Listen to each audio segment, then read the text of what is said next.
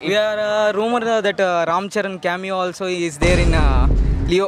யார் யாரெல்லாம் வந்தா நல்லா இருக்கும்னு சொல்லி ஆனஸ்டா சொல்லணும்னா தனுஷ் அவங்க வந்து காஷ்மீருக்கு திருப்பி போயிருக்கிற மாதிரி ஒரு நியூஸ் வந்தது.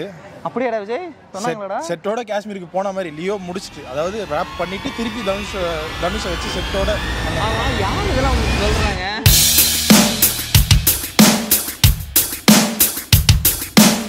எல்லாருமே லியோ ஃபீவர்ல தான் இருக்கும்.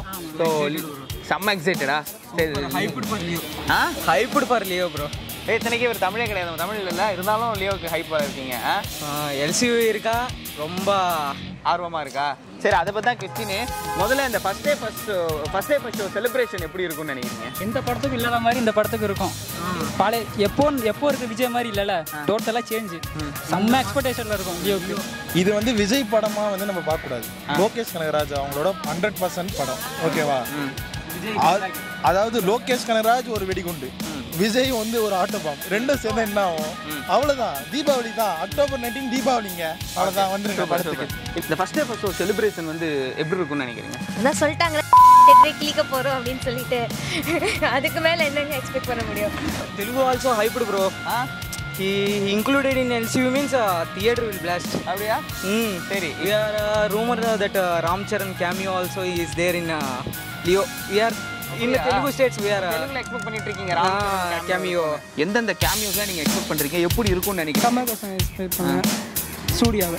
அவ்வளோ அவ்வளவுதான் எல்சியில் இருக்க எல்லா கேரக்டர் ரெண்டு கேரக்டர் தான் விட்டீங்க. அப்படி சொல்லுங்க கார்த்தி. கார்த்தி சரி ஓகே லியோவோட கதை என்னவா இருக்கும்னு நினைக்கிறீங்க?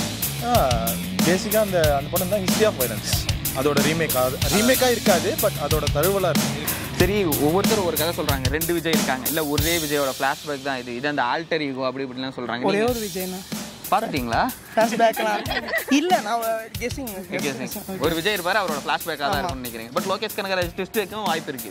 நைண்டா கொண்டுடுவாங்கன்னு நினைக்கிறேன். என்ன வேற படமே பார்த்த மாதிரி பேசிட்டு இருக்காரு. அப்பெல்லாம் பேசாதீங்க. நான் த்ரிஷா ஃபேன் நான் ஒரு மாதிரி ஃபீல் ஆயிடுவேன். ஓகே ஓகே அதுதான் இந்த எல்பியூன்னு சொன்னதுக்கு அப்புறமேட்டு அந்த ஆர்டிஸ்ட் வந்து கேமியோ கொடுக்க போறாங்க. இந்த ஆர்டிஸ்ட் வர போறாரு ஒருத்தர்லாம் என்ன சொன்னாருன்னா ராம் சரண்லாம் வராரு அவர்லாம் நானே வருவேன் படத்துல. நானே வருவேன் படத்துல. நான் வருவேன். நீங்க வருவேன்னீங்களா?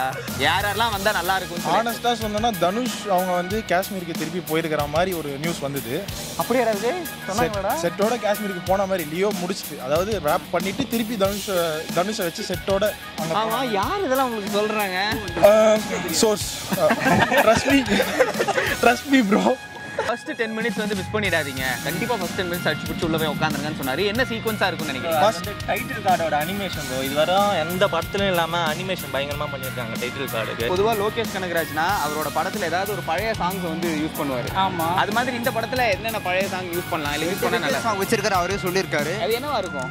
அல்லு அர்ஜுன் ஒரு சாங் நான் இருக்கு டாப் பிளேஸ் பார்த்து ஒரு ஆ ஒரு வைஃப் விஜய் ஒரு டான்ஸ் வருதுன்னா ரொம்ப hype so you are expecting Leo மூவில டாப் லெஸ் பத்தி song. Lokesh Kanagaraj please note this அது மாதிரி இந்த படத்துல எந்த பாட்டு இருக்கும்னு நினைக்கிறீங்க? இல்ல எந்த பாட்டு இருந்தா நல்லா இருக்கும்னு நினைக்கிறீங்க? உங்களோட ஃபேவரட் பழைய சாங்ஸ் ஏதாவது? த்ரீ ரெட்ரோ சாங்ஸ் இருக்குன்னு சொல்லியிருக்காங்க. என்னன்னு தான் தெரியல. சரி என்னெல்லாம் இருக்கலாம் இருந்தா நல்லா இருக்கும் பழைய பாட்டு? அதுதான் சூப்பரா வரும். ஓ கமல் இருப்பாரு. கமல் வரப்ப அந்த பாட்டும் இருக்கும்.